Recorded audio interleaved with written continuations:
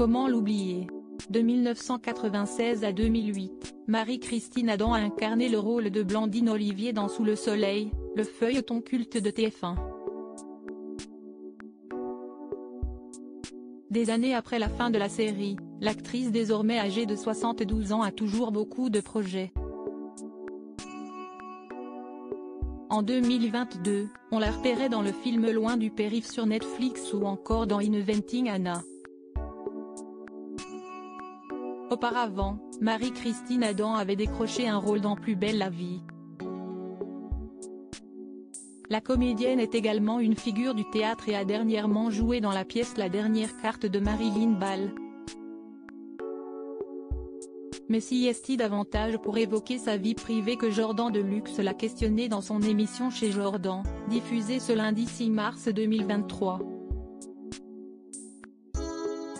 Au moment de parler d'amour, l'animateur a d'ailleurs cité une phrase qu'elle a elle-même prononcée il y a quelque temps, « Je n'ai jamais franchi le cap des sept temps, si estime mon maximum. Ça fait très longtemps que je vis seule. Et aujourd'hui, on apprend que Marie-Christine Adam est toujours célibataire, même si elle reconnaît avoir bien vécu. J'ai été déçue par l'amour, vraiment. Je n'ai jamais été heureuse en fait, a-t-elle confié. La comédienne tire de ce bilan une analyse, mais je crois que le bonheur ne vient pas de quelqu'un. J'ai compris ça trop tard malheureusement.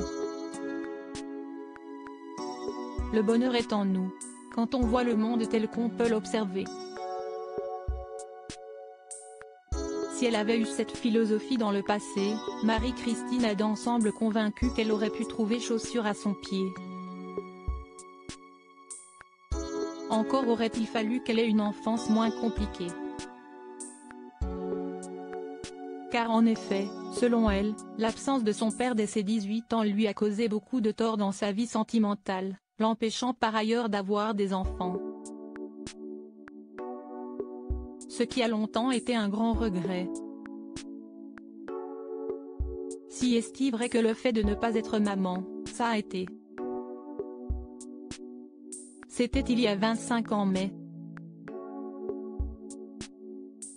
Pentel d'ailleurs a exprimé. Et de relativiser, maintenant, à l'heure où je vous parle, ça va beaucoup mieux. Parce que, quand on voit le monde tel qu'on peut l'observer.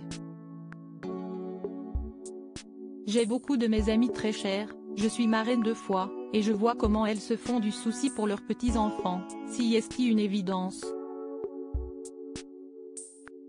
Marie-Christine Adam souligne tout de même que passer à côté de la maternité, n'a pas été un choix pour elle.